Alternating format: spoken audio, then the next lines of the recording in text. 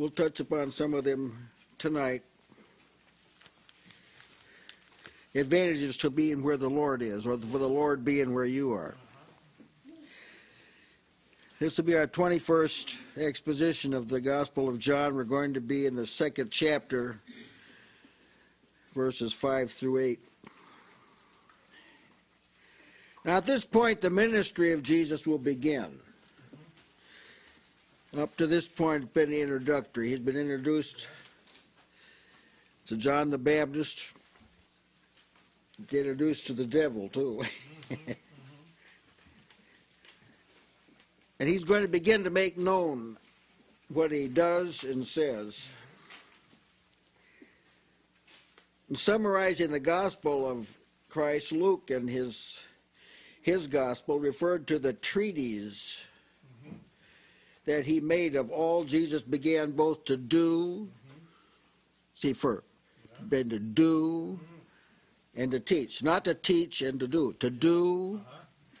So that's what he's going to do. He's going to do something in this text tonight, to do and to teach. In the place of treatise, other versions use account or book or scroll or narrative discourse, volume. The word treatise has a root meaning of a collection, uh, an orderly collection. Uh, Jesus did a lot of things and said a lot of things, so much so the world couldn't contain the books of just what he did. Yeah, amen. And so Luke collected, see, Mm-hmm. under the inspiration of the Holy Spirit, Yeah, yeah. Luke collected some things. And he's writing it, and it is a rational Yeah, collection. It's not written, this is not written to impress people. yeah, uh-huh. This is written to show people, to reveal something. Yeah, It's an orderly and focused account of what Jesus began to do and and teach. The gospel, in other words. Now, unlike any other message, the gospel has power. amen. Mm, See, it is the power of God in order to salvation. Right. So if a person wants to be saved, it's the power that it's in the gospel. Amen. This is the word with which the Spirit works. Mm-hmm. There's not power given to any other word. Understand this. Amen. Not no other word, no system of men, no body of thought, no collection of thoughts has power Yeah, except the gospel. The writings of Moses don't even have this kind of power. yeah, that's right. Mm-hmm. The gospel is the power of God and salvation. That's why it's called the word of his grace, see? Or the gospel of the grace of God. So we, we must we must endeavor to break loose from any temptation to us, subject ourselves to the gospel with only our intellect. You've got to, there's a temptation to do that particularly when you're living in kind of an ignorant age. We're living in kind of an ignorant age, as far as the masses are concerned. Just kind of a kind of a bunch of dumb people. That's that's, that's what it amounts to. Sometimes I'm I'm confounded at the human stupidity. It's just it's amazing and ignorance. It's amazing the level of it. It's absolutely amazing. And so it's. Uh, in that kind of environment, it'd be easy to like over intellectualize the scriptures, but you, you, you want to lay power. If your intellect was sufficient, you wouldn't need power. See, the fact that this is the power of God says we- don't have, we don't have the resources we need by nature, but the gospel is the vehicle. yeah. It's a truck that delivers the power that we need. So that's so that's what we're going to be viewing. Uh, the beginning of Christ's first miracle. And what do you suppose you would do if you had your choice for the first miracle?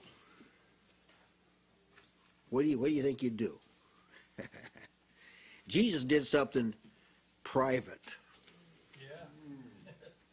How about that?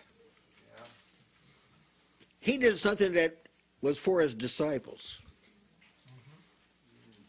That's the first thing he did. That's the first miracle he did. All right, it's uh, second chapter of John, verses five through eight. They've run out of wine. It's wedding feast. They've run out of wine. Mary, his mother, said they're, they're out of wine. Jesus said unto her, Woman, what have I to do with thee? My hour is not yet come. Then his mother, she didn't go off and cry. Some people would often wept. They had Mary wept. That's what would happen. But his mother saith unto the servants, Whatever he saith unto you, do it. Mm-hmm. Amen. You want to add those two words to your vocabulary. Do it. And then we're set there, six water pots of stone after the manner of the purifying of the Jews, containing two or three firkins apiece. Jesus saith unto them, Fill the water pots with water. And they filled them up to the brim. And he saith unto them, Draw out now, draw out now, and bear unto the governor of the feast and they bear it. You see there that everything Jesus said happened, and whatever he Yes. communicated they did.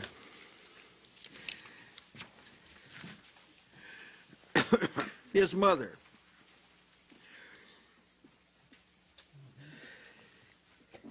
You know, he said, Woman, what have I to do with thee? What what what are you talking to me about this for? It's like saying, Why did you what were you looking for me for when he was 12? What, why didn't you come here right off the bat? Why are you looking other places? See, but this didn't offend Mary. Mm-hmm, mm-hmm. This didn't offend Mary. This, he says, what, what, am I taking orders from you now? Are you running things now? That's what he was saying. Mm-hmm. She didn't, it didn't bother her.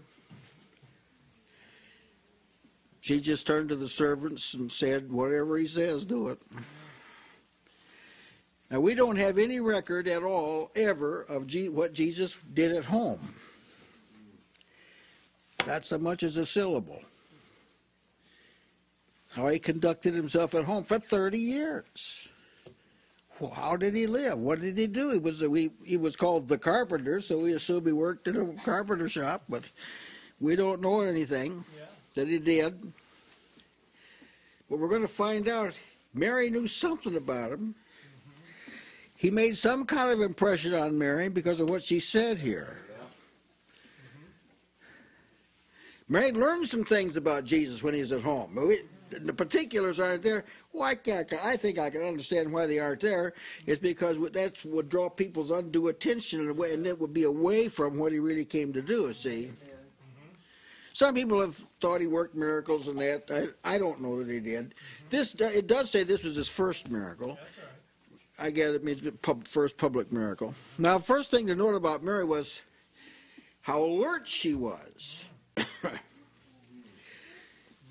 she wasn't, as they say, a spring chicken. Jesus is 30 years old. So she's a she's she's not an old lady, but she's a mature person, and she was very alert.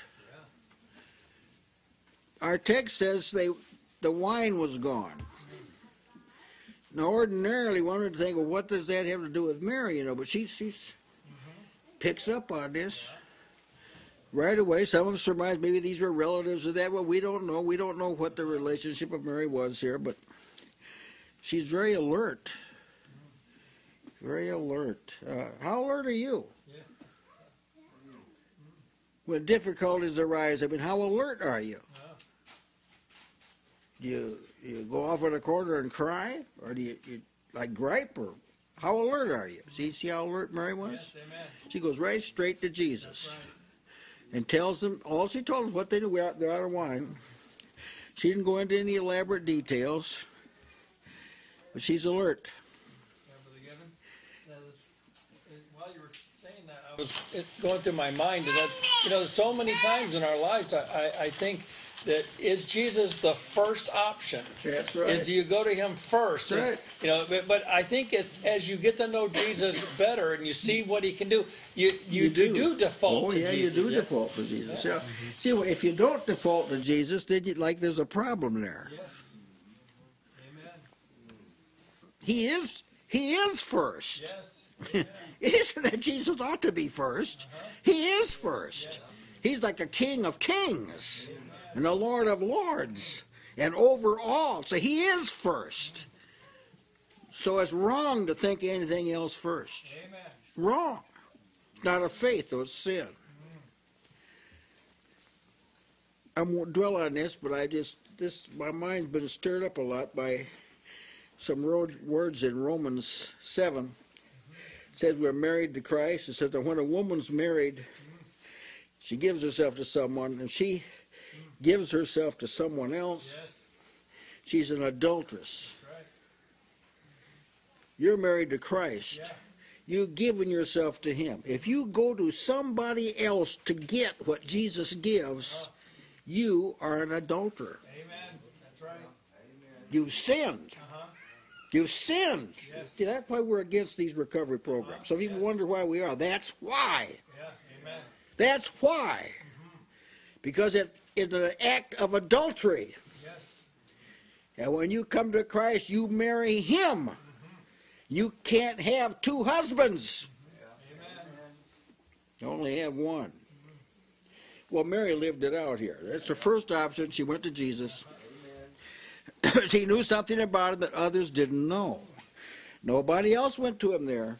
Mm-hmm. Not even one of his disciples. They, none, Mary, she knew something about Jesus because she lived with him, see? Yeah. She lived with him. Now, if you live with Jesus, you'll know something, things about him nobody else knows too. So she just says, You'll be able to recognize when it's time for him to work. that's, that's right. Amen. Amen. So she says to the servants, Whatever he saith unto you, do it. That's a good word, isn't it? Yes. You could you could say that to anybody. That's right. You can say that to your children, you can say it to your friends, say it to someone in trouble, so whatever Jesus tells you to do, like do it. Some other versions say, do whatever he tells you. Phillips Bible says, mind you do whatever he tells you. Whatever it is, whatever he tells you. If you're a lame person laying on a pallet and he says, pick up your bed and walk, do it. Yes. If you're a blind man, you've got mud on your eye, and he says, go wash the pool of Siloam, do it. See, it's easy to say this if it doesn't look difficult. If you've got a withered hand hanging on your shoulder, and the Lord says, stretch it out, do it. He, he doesn't always ask you to do e- easy stuff. If he says, walk on the water, walk on it. That right? Amen. Whatever he says, do it. She's not only persuaded he will, Jesus will do something. She has confidence in Jesus. She knows he's going, he's going to do something. I, I don't know what it is, but he's going to do something. Now, see, we had several instances we raised tonight. Yes. Now, if you know Jesus, you know he. If you know about him, he sure knows about him. Uh-huh. He's going to do something. We acknowledge we don't know what it is, but he's going to do something. But when he does something, he generally involves his people. Whatever he says, do it. I, he, she knew it'd be the right thing. It won't be something that can't be done. If he says do it, just the fact that he said do it makes it possible. Yeah. Can you see that, brethren? In the scripture, if it says like, be perfect, you say, well, I can't. Well, see, the fact that he said that makes it possible. it's good stuff, isn't it? Yes. Perhaps as well to say at this point that many people do not know what to do because they haven't spent much time with Jesus. See, you, so they're easily confused, they're easily discouraged, they're easily stymied. Mary spent time with Jesus, 30 years at least that we know of. She spent with Jesus. But if you don't spend time with Jesus, believe me when I tell you, you will not know what to do. Yeah. Amen. But if you do, you'll do, you will know what to do. Some people can't give good advice because they haven't been with the teacher. Mm-hmm. So don't even ask them. There's some people you don't even ask, what should I do? You don't even ask them. Uh-huh. Ask someone who's been with Jesus what to do. Yeah. Amen. See, people, there are a lot of people that can't give good advice because their well is too shallow. They've not got very much. They haven't been around Jesus very much. They don't know very much, like about problem things. And they just, just don't know. This is not something they know about. So if you get like 50 of these people together, you still got the same thing. You got to find somebody uh-huh. who is acquainted with the kingdom of God. A scribe that is taught in the kingdom of God that can reach in his treasure and bring out something new and old, or whatever is appropriate, see?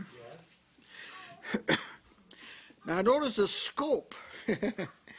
the scope of her advice. Whatever. See, that's become like a slang expression today.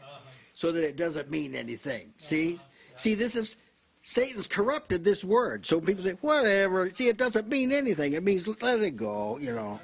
Well, that's not what it means in the scripture, whatever.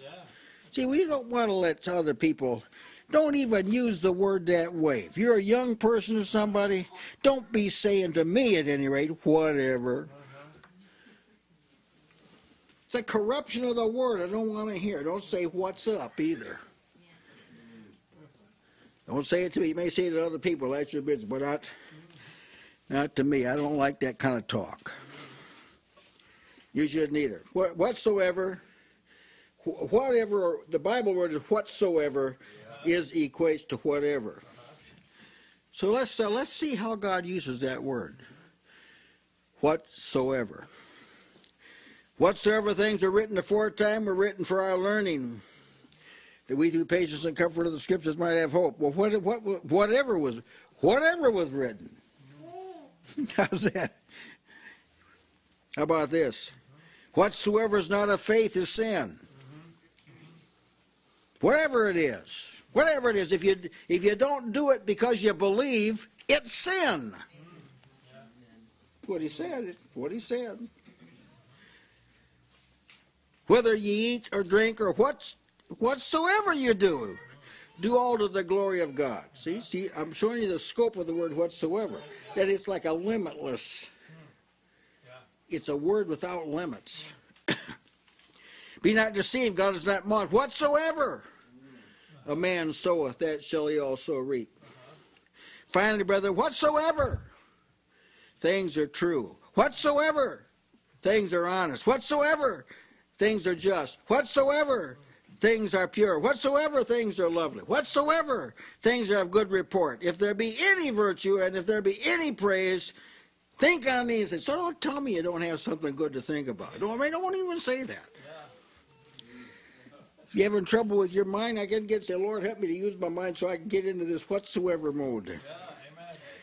So you got to say this is like a filter. These whatsoevers are like a filter that your thoughts have to pass through and strains out all of the junk. There's something when you're cooking and there's some uh, liquid, you gotta pass it through the filter. You don't just put it in. There's, stuff in there you can't put in what you're cooking. You gotta pass it through the filter. This Philippians 4 8 is like a filter. Pass it through, and if it comes, if it comes to one of these, these are like a like a hole it can't pass through. Ah, this is not. This is not uh, pure. Well, don't don't think about it. This is this is not honest. Don't think about it. See, whatsoever. Not that I speak in respect of want, for I have learned in whatsoever. there it is again. Whatsoever state I am, therewith be content. See, it's limitless. See, there, there's no boundaries to it. Whatsoever, it doesn't have a front and a back. It just doesn't have a top and a bottom. It just whatsoever. And whatsoever you do in word or deed, do all in the name of the Lord Jesus, giving thanks to God the Father by Him. And whatsoever you do, do it heartily as unto the Lord, not unto man. See, so when she says whatever, whatever, she admits, I don't, I don't know what He'll tell you to do, but whatever it is, do it. Now, some of God's professed people are too selective about what they'll do. Yep. They'll say something like, Do I have to? Do I have to really uh, forsake not the assembling. It's got no, no, you don't. You could be damned. Yeah, that's right. That's the alternative. Uh-huh. See, you don't have a right to be selective when God says. Do this, do that, go here, go there, don't go here, don't go there, don't do this. You can't be selective. Whatever. Whatever he tells you to do. See, there's this tendency, isn't there, to compartmentalize life. These are the things you gotta, well, I have to go to work and I have to eat. I mean, but see, they never say I have to serve God or I have to fellowship with the brethren or I have to pray. Or you don't hear people talking like that, but you do. They do have to do it. Whatever God says, pray without ceasing. Whatever, whatever He tells you, do it now. Touch not the unclean thing. Whatever, whatever He tells you now, do it. Make no provision for the flesh to fulfill the lust of. Do it. Just do it.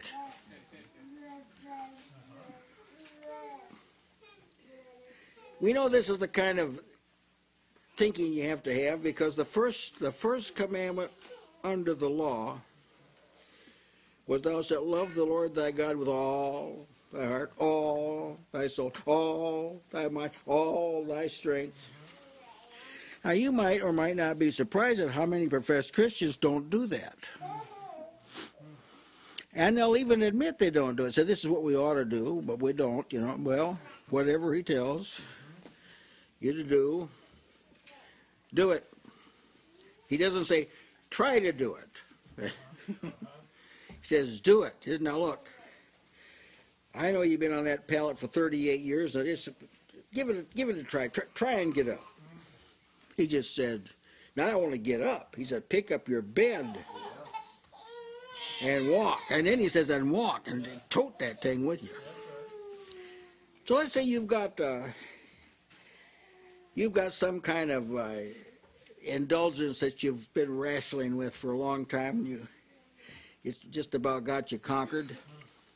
Pick it up Yeah, and walk with it, having dominion over it. yeah, amen. That's what you do. You just you just do it. You say, well, I don't know if I can't just do it. When you extend yourself to do it, you'll get the grace to do it. Yes.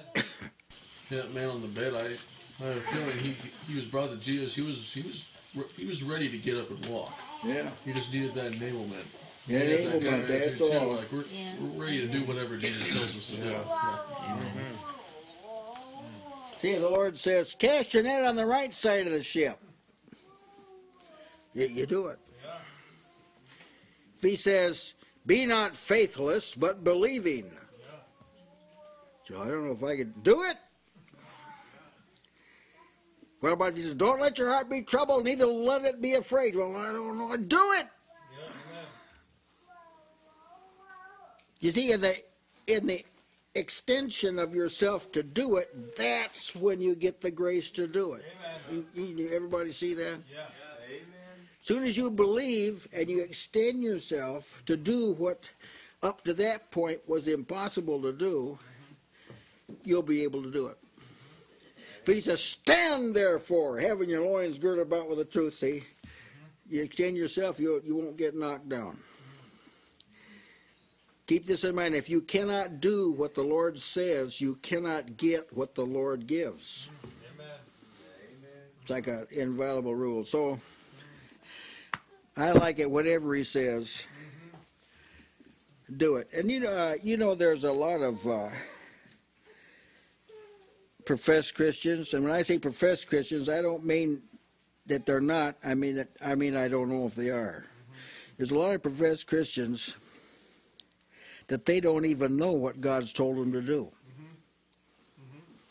They've been sitting under preaching where God, the band hasn't told them what God said they're to do. Yeah. They're just kind of do-gooders, be good neighbors and share your toys and you know, that kind of thing. They haven't really been told. So Mary did say what you didn't. She didn't say whatever you think he'd like you to do. She says whatever he tells you, Yeah, do. Yes. Shows us now that Mary wasn't necessarily talking about so many great, miracles that she's seen him do around the house. That's right. But she's been impressed by the things that Jesus has had to say. That's Yeah, right. uh-huh. He's always had some Amen. good things to say. Yeah. So whatever he says, so a lot of people put a lot of emphasis on the miracle part of it, which Yeah. it's, he did do a miracle. Mm-hmm. But really, uh, we can say that Mary's putting emphasis on what Jesus says. Amen. Uh-huh, yeah, amen. Amen. It doesn't say whatever he does, look at it. Yeah, uh-huh. It says whatever he says. Yeah. Really, they, they did the doing. I mean, you know, he Amen. just said. Amen. All right, that's now that's the stage. This is the, this is what we got to work with now. A wedding feast. Jesus' mother's there. Jesus is there. His disciples are there. They're out of wine. All right, now what what do we got to work with? That that's a situation. What do we got to work with? And there were set there six water pots of stone after the manner of the purifying of the Jews, containing two or three firkins apiece. All right. We survey the room. We see six stone water pots. That's that's what we got to work with. but when someone omnipotent is there, that changes the whole situation. Jesus can work with whatever's available. Even you. You believe that? He can work whatever. whatever whatever's available. Just because he is overall, he really is. And there's not anything or anyone who will not yield to him. What about the people don't obey him? Well, he can take them out with a word. He could just say, "Don't be," and that'd be it. So they're still subject to him, even though they don't know it.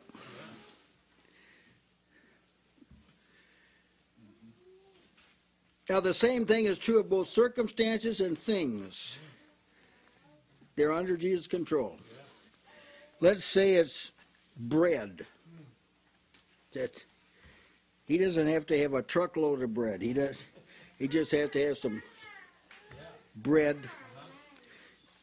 He doesn't have to have a boatload of fish. Just some fish, two fish, two fish. Because we're dealing with someone omnipotent. See, we're dealing with someone who's not limited. You're limited. He isn't limited.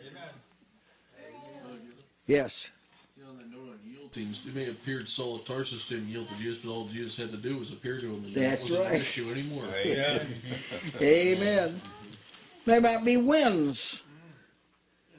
See, he, when Je- Jesus can do what he wants with wind, you you try it. Or waves. Or he, you can give him a colt that's never been ridden. He can get right up on him, and the colt will just carry him.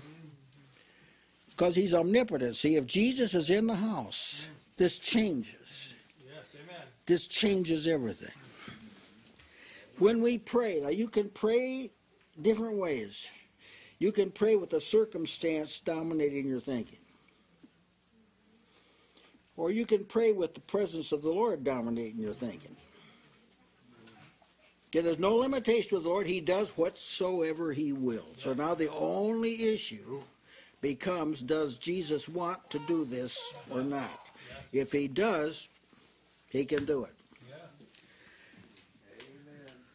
when we pray, we're just bringing this up uh, That's to right. him. That's You right. know, reminding him, it's like a savor to him. Yeah. Yeah, we our co- we we've got to have this. Whatever he does, it tells you to do it. We have this attitude. Now, if someone seeks advantages other than the Lord's presence or goes someplace else for a help, it, this is wrong. This is wrong. You say, does this mean I shouldn't go to a doctor? Well, there's no substitute for thinking, you know. No, that's not what it means. But it means that shouldn't be your 1st resort. See, he can use whatever. Yeah. He says to Moses, "So what do you got in your hand? He says, a rod. Well, use that. Yeah, yeah, right. I mean, we're talking about facing an Egyptian army with a stick. Mm-hmm. He, that's Jesus. That, if you believe Je- Je- he can use whatever you got. Amen. Maybe a, like a sling. So I got this, this sling. And I'm facing this 10 foot tall giant with armor. This is, we'll, we'll use that. We'll use that. It'd be a little bottle of oil, a little pot of oil, you got this massive debt. Oh, we'll pay it off with that little bottle of oil. Might be a jawbone of an ass. Oh, the, it's a dead donkey out here. The decay. There's a bone, a jawbone. there. Well, we'll use that. You got a, you say you got a thousand foes to fight. Well, see, we're talking about omnipotent Lord. These records are not given here just to be children's stories. That's not what they're there for. But you know, a lot of people they, they just read these to the kids. Yes, Brother Justin. reminded of that scripture, 1 Corinthians 1.28, and the base things of the world, and the things which are despised have God chosen, yea, and the things which are not, to bring not to naught the things that are. Amen. Let's say you're faced with some poison waters. God can enable a person to just take a little salt. Well, we got what we got available here? Some salt. Throw that in there. That heal the waters. And Second Kings two twenty, or maybe a a, a, a, terminal boil. A boil. You're dying of this boil. Uh, take a lump of figs and put on there. See, when the king's in the house, whatever's available Yeah. can be used. In this case, six pots, stone pots. That's what we're. Six, six stone jars. No one ever thought these six stone jars could be used in a miraculous way. They just didn't look like it. And who ever heard anything like this uh, before? They weren't made of precious metal or precious stone. There was nothing extraordinary about them. Just ordinary vessels for ordinary Jewish use. But when the Lord's in the picture, that that changes everything. It's good that we learn to think of His presence as making everything possible. Yeah, amen. Just cu- you know, I'll tell you that you have to culture this kind of thinking. You won't naturally think this way. I mean, you may know the Bible says this, but we're not talking about knowing the Bible says this. We're talking about being able to, to, to think naturally like this. The Lord's here, Yeah. anything is possible. Mm-hmm. Mm-hmm. Or to put it another way, with Him, nothing shall be impossible. Six ordinary stone water pots. After, and and they were uh, they were uh, after the manner of the purifying of the Jews. They were water pots after the manner of the purifying of the Jews. Some versions say the Jewish custom of purification, the kind used for Jews for ceremonial washing and so forth. Now, this isn't talking about the washings that were under the law. It's not what he's talking about. The first covenant, the law, the scripture says, stood in diverse washings. Mm-hmm. Hebrews 19. That's not the washings he's talking about. John is careful to state they were according to the purifying of the Jews. He doesn't say according to the purifying of the law of the Jews. Now later, where God favors us with an explanation to this elsewhere, that these this these washings were traditional washings. Matthew fifteen three brings it up. Some people came to Jesus and said, "Why do you also?" and said, why do thy disciples transgress the tradition of the elders? For they wash not their hands when they eat bread. See, it's a tradition. It's a tradition. This is a. These pots were used for a traditional washing.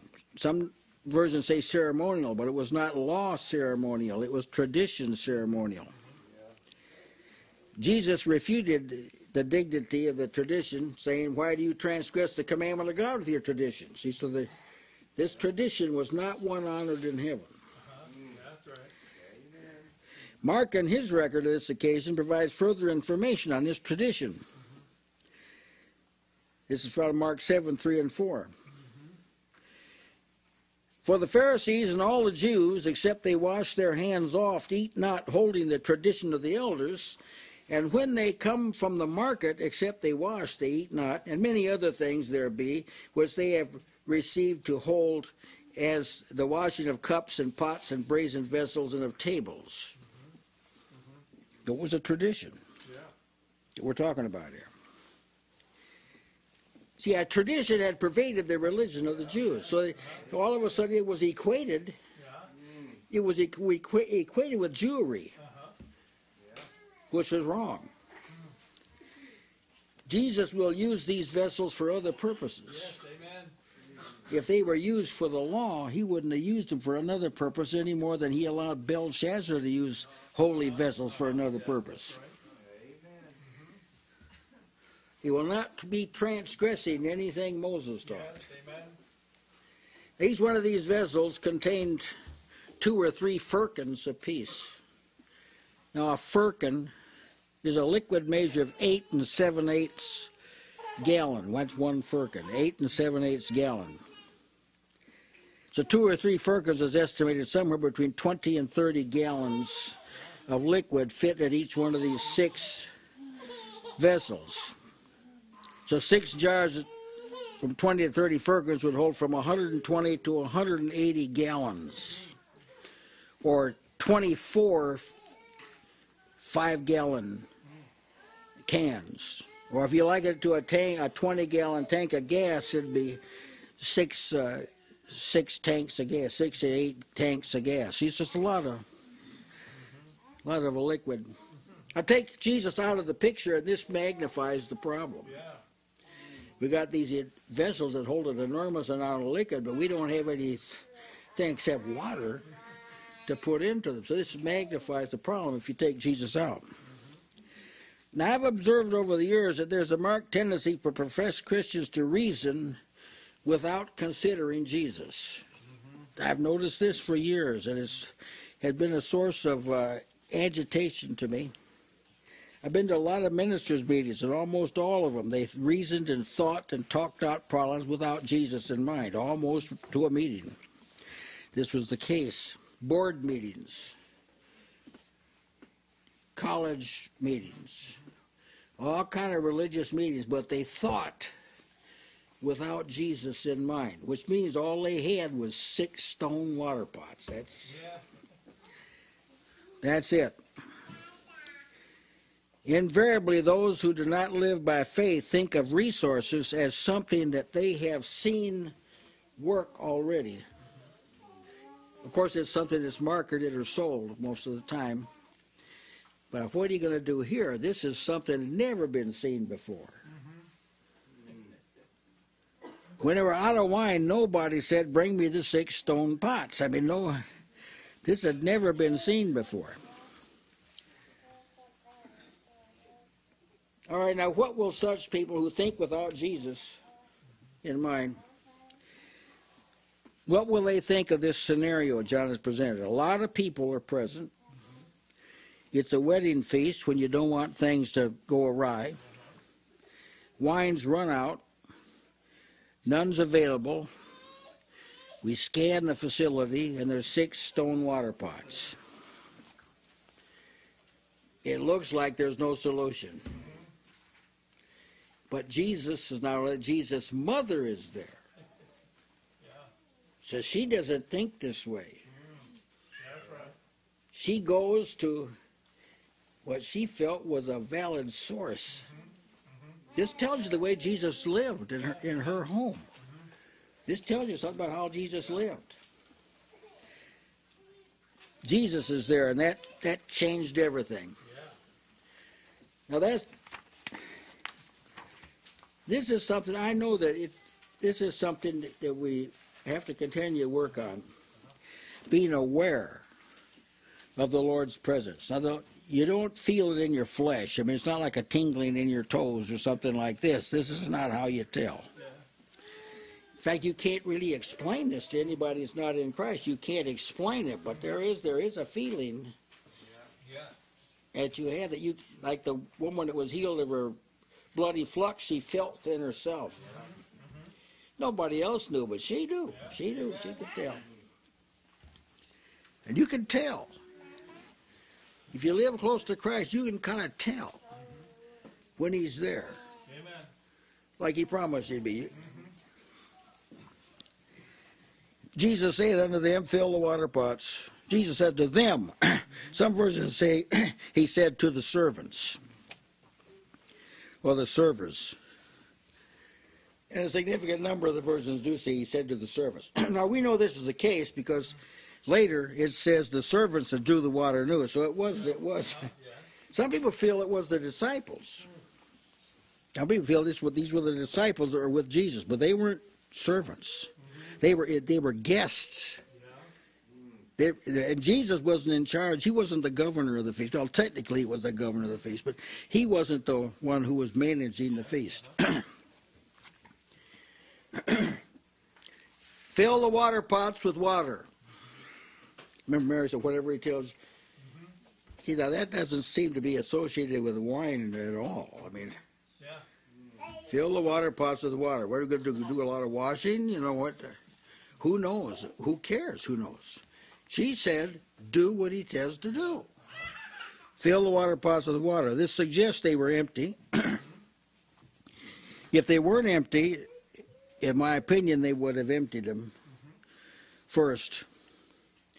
Now, notice what authority Jesus speaks to the servants. This is the first time we have on record, aside from him insisting that John baptize him, this is the first time that he's like delivered in delivered in order. Fill the water pots with water. It's the first time now. We're being introduced. See, this is not a carpenter talking. Uh-huh.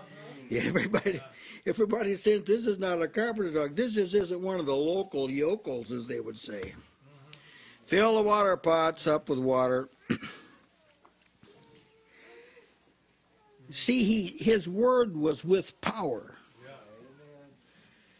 So that it dispelled any question about whether or not they should do it. Later, when he came down to Capernaum, a city in Galilee, and taught on the Sabbath days, they were astonished at his doctrine, for the scripture says his word was with power. When you hear Jesus speak, it moved you into action. It made you think about yourself. It made self-examination. Made you want to do what he said. It was that's power. See, it wasn't like persuasive power. It wasn't that kind of power. A lot of people can pers- can persuade you. I remember this uh, young man. He was a Pentecostal preacher, and he had been bilking the people for years. What was that band's name? Hon? Pardon? Neil. Which, which are you talking about? One in Florida where? No, the Pentecostal man that be- became a was converted and made a film. Oh, Mojo. Marjoe. Marjoe. He was Marjoe for was a was a from five years old he was a national evangelist, worldwide fame, and he, he was a he was actually wasn't a believer at all, but he finally he came out with a film that exposed what he was and it set the Pentecostal world on fire. I remember when it happened in the 70s. Boy, it turned everything upside down. And so he was the kind of person that could t- convince anybody to do something. So he was on a national television show, and they brought out a dilapidated cow. And he sold that cow for $5,000 with sheer, sheer hype. Now, there's people like that in the world. They just have a just magnetic. Per- That's not what Jesus did. That's not the kind of power. That's right. When it said his word was with power, that's not what we're talking about. Because these other people that have these persuasive powers, it wears off. Just give it up a week or two and it wears off. His word was with authority. Later, the people said, that heard Jesus speak, What a word is this! For with authority and power he commandeth the unclean spirits, and they come out. Luke elsewhere he says he taught them as one having authority and not as the scribes. See, when people heard the real Jesus speak, it was penetrating. Amen. It would convict people. It would make Pharisees mad that wouldn't get mad otherwise. Yeah. See, it humble down people wouldn't get humble otherwise. His word is with with power. Perhaps it should be noted that when the words of Jesus are heard with people that have ears to hear, men immediately associate his word with power and authority. Uh-huh. You can hear Jesus' words by reading them in the scripture. Mm-hmm. Be not troubled.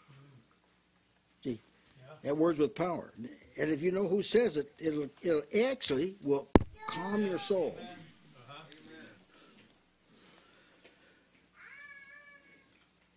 Yet if you don't push that from you, that perception from you, if you don't do this, if mm-hmm.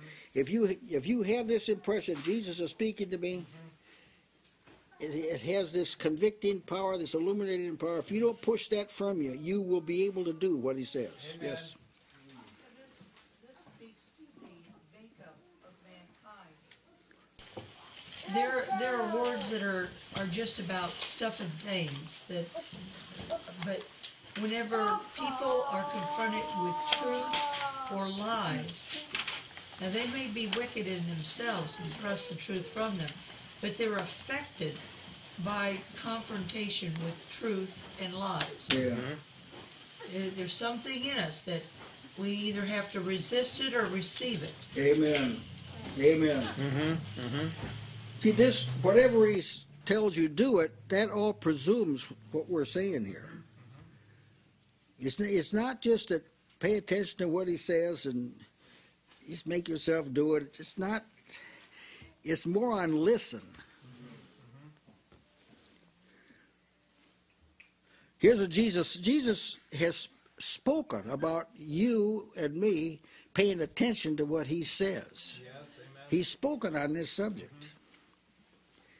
These are familiar texts. Let me read them. He that hath my commandments and keepeth them, see, he it is that loveth me.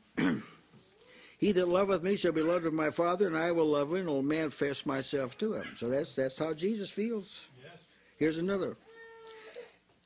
If a man love me, he will keep my words, and my Father will love him, and we will come unto him and make our abode with him. See?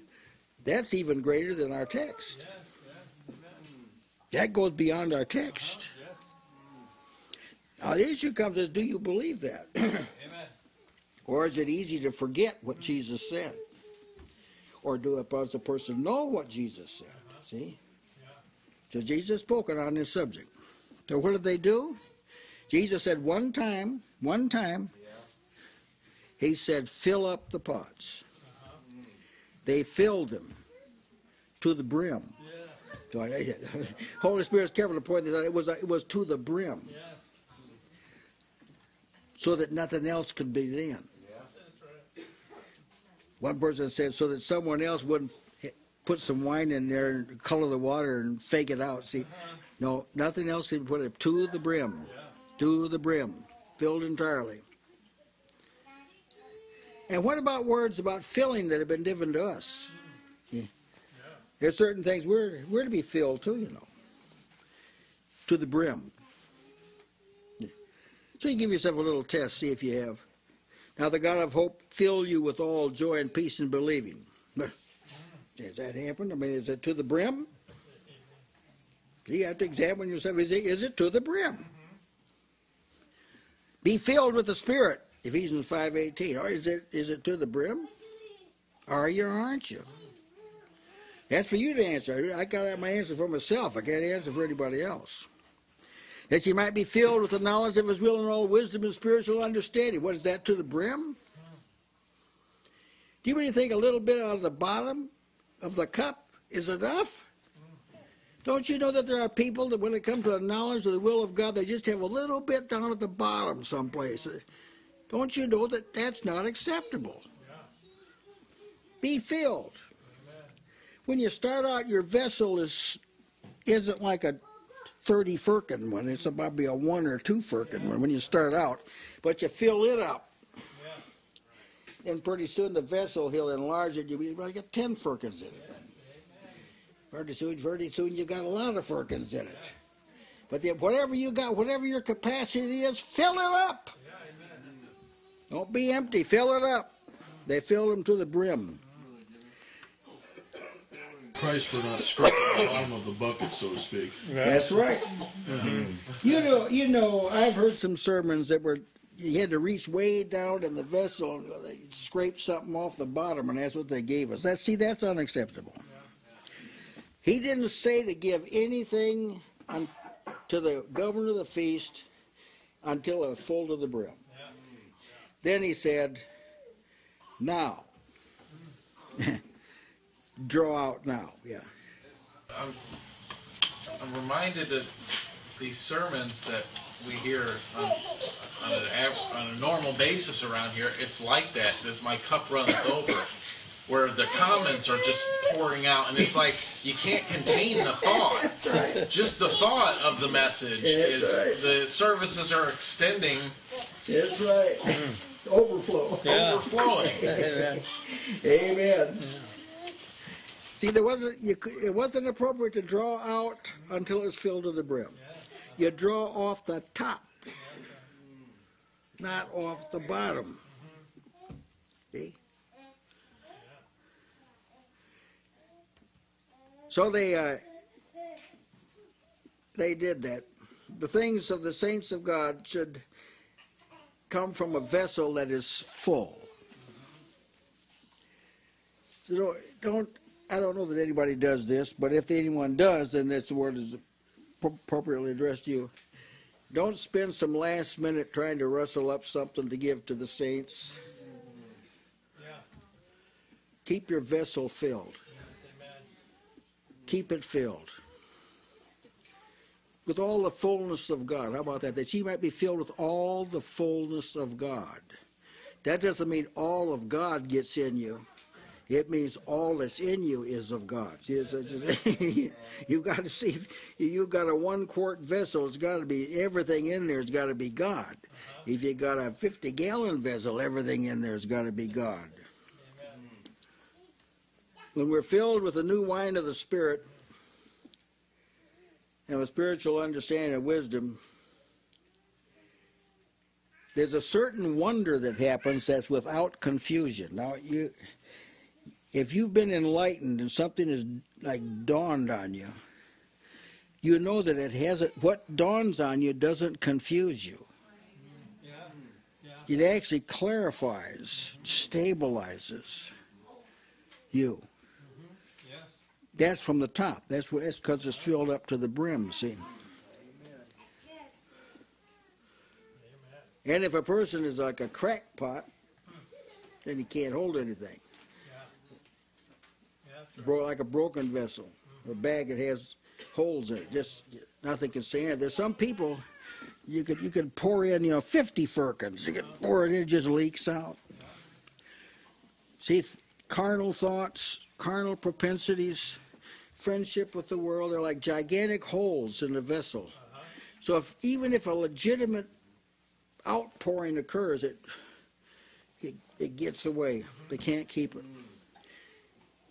It was stone pots. That's right. They could hold, hold things. The light of the truth sheds illumination on everything else you got. See, a, a, a scribe that's taught in the kingdom of God has in his treasure things new and things old. And when he puts in things new, it sheds further light Yes. on things old. Amen. See? That's right. But this is like a full, this is like a full vessel view. Yeah. This is not a half full Uh-huh. vessel view. Yes. these, these vessels be, being pure also, that they were after the manner of the purification of the Yeah. Jews. That these vessels were in a, uh, they were in a state of cleanness, so they could be more readily used. Yeah, that's right. They didn't mm-hmm. have to go through a long process of making them clean and making Yeah. them fit. And that, that we want to also live in a state of cleanness and be Yeah. pure before the Lord so that we can more readily be used in whatever He would have us to do. Yeah. Amen. Amen. And we're going to get into this today. either our next exposition, but What Jesus does, he takes the ordinary and he transforms it into extraordinary. There are new things given to you. I understand that. But he takes ordinary things, things that you, they really they were true, but they weren't doing anything. You know, and he transforms water into wine. That's right. See, he takes what's ordinary. And he doesn't want, listen, here's something else. The Lord Jesus doesn't want the ordinary to be distributed. Yeah, uh-huh. The ordinary's got to be turned into the wine, then distributed. See, there's too much ordinary stuff being communicated to the people of God. Believe me, it's got to be it's got to be transformed first. Well, those are some things about that text that I'm sure you'll see a lot more in it, but you see a lot about. She knew a lot. Mary knew a lot about Jesus just because she is with him Yes, and you will learn you will learn a lot about Jesus just by being with him yes, amen. and you'll pick up uh-huh. if you're with Jesus enough you'll pick up he can do anything Yes, so you amen. you'll pick up on that Amen. and believe me that's a good thing to know in this world Amen. Amen. Yeah. yeah anyone else have something to say something to add brother bob You can live on bread and water in this world, but you know, with Jesus, it, it's living on on wine. that's right I mean, it, it, it's an extraordinary, it's an, abu- an abundant life. fat thing Yeah, fat things. Amen. wine on the lees On the, amen. All right, we'll have a word of prayer. Dear Heavenly Father, we do thank Thee for this record and for the power of the Lord Jesus and His speech. We ask for grace to continue to hear His word attentively, devotedly, and to have our vessels filled at all times. In Jesus' name, amen.